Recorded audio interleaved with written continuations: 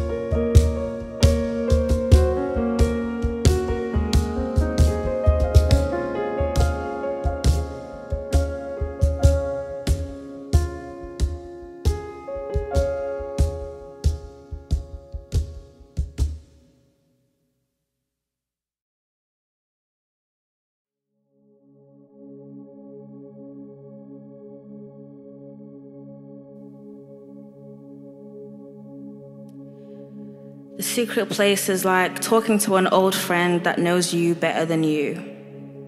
Although it's hidden away, tucked under the wings of the Father, there are no secrets, no unknown things to Him, there is nothing new to Him. It's like sitting in the noonday sun in the summertime with a breeze to cool the heat of rays shining on skin. It's like a refreshing outpouring of rain after a hot and humid season, like a breath of fresh air, a gulp of water in a dry desert. Sitting with your old friend that sees the heartache in your eyes despite you telling them you're all right.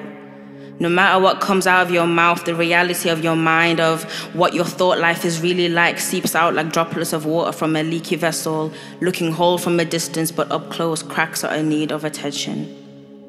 The place you run to when running on empty no longer can do. The place where you know you're loved through and through, where identity stays intact and repentance opens the door to eternal security. The place where strength on the inside is possible, where tenacity is born, a place where new beginnings can happen every day. No matter how far you may have strayed, your old friend sits patiently and waits.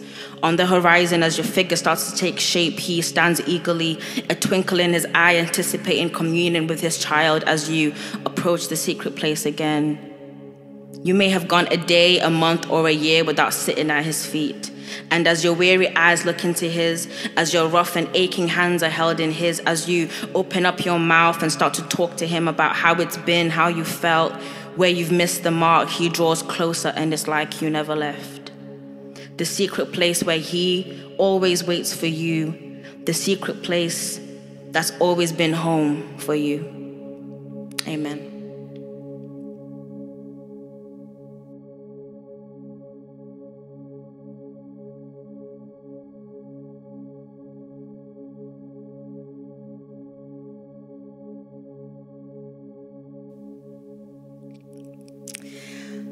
So I think it's important that believers constantly seek and yearn to be with Jesus in a personal and intimate way because otherwise we will get used to just running on our strength, our wisdom, um, the, our perspectives, the way we see things, the way we the way we want to execute our own things. Like I think when we when we dwell in God's presence, that's when we get vision, that's when we get wisdom. It's when we we get direction on what to do. Um, otherwise, we'll just be walking around in our own power, um, and really not like no one will get saved. Nobody will be touched by the Holy Spirit. No, like no one will be transformed by the Holy Spirit if we try and do life without him and it's not just about ministry i think it's just more about how we live our lives our integrity how we how we walk in the spirit i think it's important for us to constantly constantly depend on god um, asking him lord less of me and more of you i want to be used by you i don't want to just bear the name of christ but do my own thing i would genuinely want it to be um, your Holy Spirit willing me to do things and to speak to people, to worship in spirit and in truth. Without the Holy Spirit, we can't even worship because God requires us to worship in spirit and in truth. It's not possible for us to worship Him without this Holy Spirit. Um, so that's why it's important for us to dwell in the Holy Spirit to um, to let Him work in us, so that He can use us for other people and for His glory.